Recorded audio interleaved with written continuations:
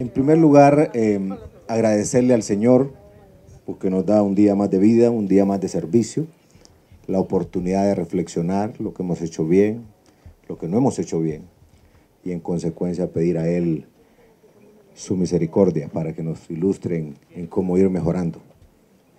Y obviamente poner de, de cara al futuro el país que queremos construir. Yo quiero aprovechar este momento, aunque sea rápido, para recordarles de dónde venimos, porque creo que después de lo que el pueblo hondureño ha sufrido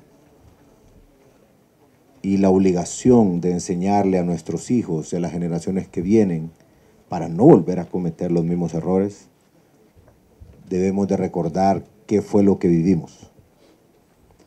¿Y qué fue lo que vivimos? En las cifras de homicidios, que tiene que ver mucho con impunidad en todo sentido, en falta de un aparato con los suficientes recursos para hacer justicia, Honduras se convirtió en el país más violento en la faz de la tierra.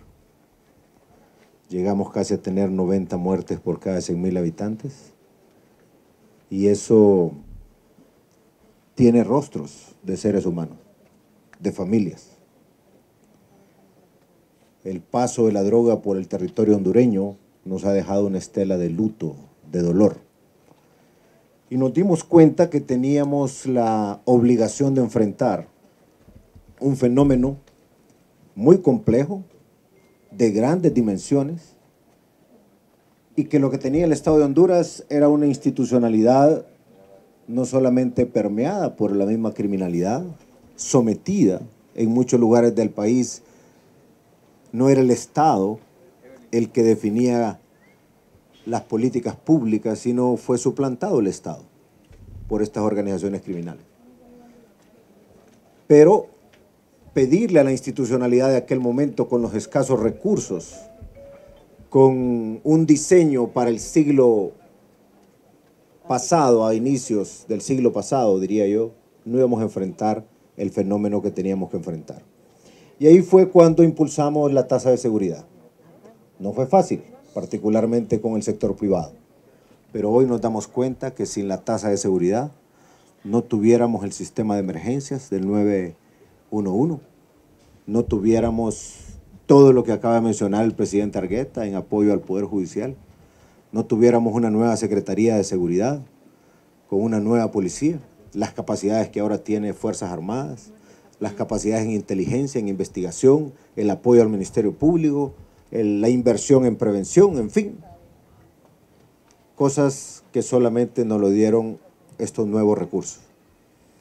Pero quiero destacar, cuando a un juez la ley le obliga a tomar una decisión y de repente antes de llegar a la audiencia se da cuenta que su hijo no aparece y minutos antes de la audiencia ingresa al centro o al edificio judicial con un mensaje, eso cambia radicalmente un sistema de justicia. Entonces nuestros jueces han venido a estar expuestos ante todo este fenómeno. Por eso se ha creado una serie de circuitos especializados, condiciones especiales que requieren apoyo especial. Por eso yo le digo a los medios de comunicación, al pueblo hondureño, muchos se preguntan, ¿y por qué un vehículo blindado? ¿Por qué ese juez, ese funcionario judicial, está haciendo algo que poca gente se atreve a hacer? Y que empeña la vida personal y la de su familia. No para ahora, sino para mucho tiempo por venir. Cuando se toman esas decisiones, uno lo hace a sabiendas que incluye el riesgo de su familia, inclusive de amigos, pero hay que hacerlo. Y por eso estamos aquí, los miembros del Consejo de Defensa y Seguridad, para decirles al Poder Judicial, a cada uno de sus miembros, estamos para acompañarles. Entendemos lo que han pasado. No ha sido fácil, pero hoy miramos el país con una justicia creciente. Claro, hay mucho por hacer, pero es obvio que vamos avanzando. Y esta es una pequeña contribución. Y de futuro, ya lo decía el presidente Argueta, el tema del expediente electrónico. Eso va a venir a revolucionar la impartición de justicia. Y solo para poner em, contexto en unas situaciones, par de situaciones reales, donde cómo estamos interactuando con todos estos recursos, quiero hoy felicitar a la, Secretaría de Seguridad, particularmente a la DPI, una persona que en el 2000, perdón, en 1997 comenzó su actividad criminal en la MS-13 con un rosario de delitos. Finalmente ha sido capturado y va a ser sometido a la justicia.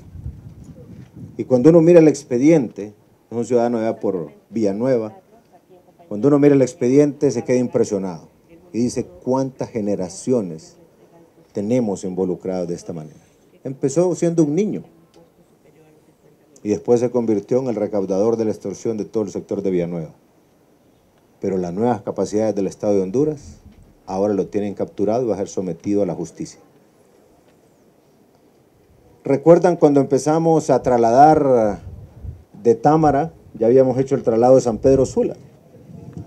Entonces, muy vivos unos señores que estaban en Támara, salieron por la puerta. 21. Si no tuviéramos las capacidades que hoy tenemos, seguirían delinquiendo los 21.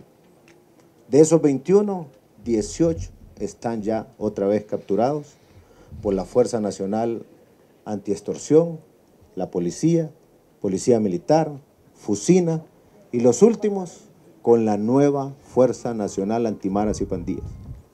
Necesitábamos otra institucionalidad también, más versátil, más coordinada, más efectiva. Esos son resultados concretos, pero obviamente falta mucho todavía y tenemos que seguir en esa dirección.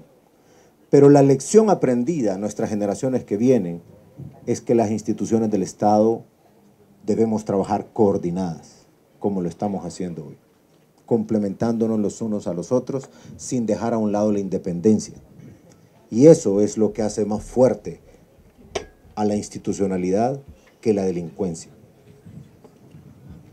Pero esto no podemos solamente contarlo, hay que escribirlo dosificarlo para que nuestros hijos y nuestros nietos no vuelvan a pasar por esta pesadilla que hemos pasado nosotros hoy. Gracias miembros del Poder Judicial por su contribución a la construcción de esta nueva Honduras que nos merecemos. Tendrán siempre nuestro apoyo, nuestro soporte, presidente Argueta. Sé que no es fácil, son momentos de grandes cambios en el país. Hay que reconocer que tenemos que cambiar y ponernos a tono.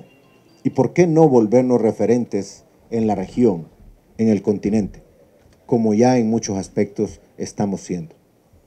Lo que se instaló durante dos décadas no podemos cambiarlo de la noche a la mañana, pero las bases están quedando. Y a los que vienen, de acuerdo a la democracia, a nuestra constitución, les tocará seguir esa ruta. Hoy son unos cuantos vehículos, mañana serán otras cosas, pero afortunadamente la tasa está ahora ampliada a futuro con el compromiso que también a partir de este año, como dice la ley en su reforma, también la mejor forma de prevenir violencia es educar a un pueblo. Y ahí es donde viene ahora el compromiso de que la tasa reformule sus compromisos, los tire a largo plazo y empezar a invertir también en calidad educativa. Así es que eso no lo digo yo, lo dice la ley de la tasa de seguridad. Y eso nos va a quitar una enorme cantidad de presión porque es la mejor forma de prevenir. Así es que enhorabuena, felicitaciones y seguimos aquí para impulsar la construcción de este nuevo país que nos merecemos. Gracias.